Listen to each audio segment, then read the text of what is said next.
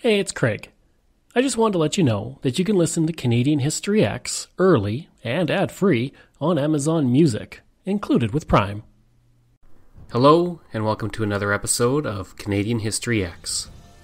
For many hockey players in the 1970s, they may have not have had the success in the NHL, but they became stars in the WHA. This was the case for Don McLeod, a goalie from Trail, British Columbia, born on August 24th, 1946. Being born in Trail, home of the legendary Trail Smoke Eaters, earned Don the nickname Smokey on his future teams, although some say it came from his love of unfiltered cigarettes. From the beginning, he worked hard to pursue his dream of playing professional hockey. He was born with a deformed right foot that would eventually be corrected with surgery, helping him along his path. His father worked at the Trail Smelter and would build his son a metal shoe so he could play baseball. Due to his deformed foot, he would wear a size 10 skate on his left foot and a size 7 skate on his right foot. In addition, his right leg was 2 inches smaller than his left. He would make his debut with the Smoke Eaters at 17, recording 0 wins and 7 losses. After playing hockey throughout his youth in BC, he would join the Edmonton Oil Kings in 1965 66, remaining with the team until 1967, and playing in the Memorial Cup and recording 15 wins in the tournament. His stellar play helped the Oil Kings defeat the Oshawa Generals in six games. It should be noted that the Oshawa team had a player by the name of Bobby Orr on it. He would then join the Fort Worth Wings, recording five wins and seven losses. For the next four seasons, he would play in the AHL with the Quebec Aces, Springfield Kings, and Baltimore Clippers. He would make his way to the NHL for the 1970 71 season, playing for the Detroit Red Wings. During the 14 games with the team, he registered 3 wins and 7 losses with an 853 save percentage and a 516 goals against average. He gave up his first goal 101 seconds into the first game in net to a rookie player on his way to the Hall of Fame named Darryl Sittler. The Detroit team of that year was extremely bad, and it didn't give McLeod much of a chance to perform to his level. This was shown in the fact that while playing with the Fort Worth Wings the same year, he won the Terry Sawchuk Award for allowing the fewest goals against. For the next two seasons, he would play in the CHL and ANHL for the Fort Worth Kings and the Providence Reds and the Richmond Robins. This was followed by a brief stint with the Philadelphia Flyers for the 1971 72 season, during his four games with the team, he recorded no wins and three losses. When the WHA formed, McLeod jumped over and joined the Houston Aeros, where he played two seasons. His 1973 74 season would be his best year, winning the Ben Hatskin Trophy as the top goalie in the league and earning a place on the first All Star team.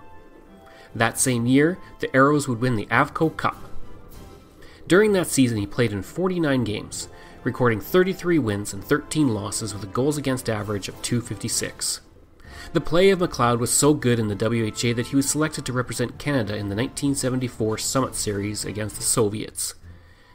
He joined Hall of Famer Gerry Cheevers and Gilles Gratton as one of the three goalies from the WHA on the team. In the one game he appeared in, he was scored on eight times by the Soviets. One interesting story about McLeod from that tournament was that while players could bring one guest, most brought their wives or girlfriends. McLeod chose to bring his mother rather than his wife. It was also around this time that he was offered a new contract. The team offered him $99,999, but he wanted a six figure contract, literally one cent more, and he decided to turn down the deal. This would lead him to the Vancouver Blazers, where he appeared in 72 games, a record, recording 32 wins and 35 losses. Going with the franchise to Calgary, he played as the main goalie for the Calgary Cowboys for the next two seasons before that team folded. Drafted from the remnants of that team by the Quebec Nordiques, he would play seven games before being traded to the Edmonton Oilers, where he would end his career that year. As for why he was traded, McLeod asked for one due to the hard adjustment to life in Quebec City for his wife and their children, none of whom spoke French. McLeod was one of the top goaltenders in the history of the WHA, setting several career, season, and playoff records. Over the course of his WHA career, he would appear in 329 games, registering 155 wins, 123 losses, and a goals against average of 334. In his career, he also recorded 43 assists, including 13 in 1975 76, which was a professional record at the time. Following his hockey career, he would work as a traveling salesman for the Hershey Canada Company between Calgary and Cranbrook. He would pass away on March 11, 2015, at the age of 68 of a heart attack. Information for this article comes from Wikipedia, HockeyDB, Legends of Hockey, and the Globe and Mail. I hope you enjoyed this episode of Small Town Hockey Heroes on Canadian History Ehx, and if you did, please give a like and review. You can find me on Twitter at CRAIG B A I R D, and you can find me through email if you have any questions or ideas at crwbaiRd at gmail.com. You can visit my website, which has hundreds of history articles on Canada, at CanadaX, that's ehx.blogspot.ca. Thank you, and we'll see you again next time.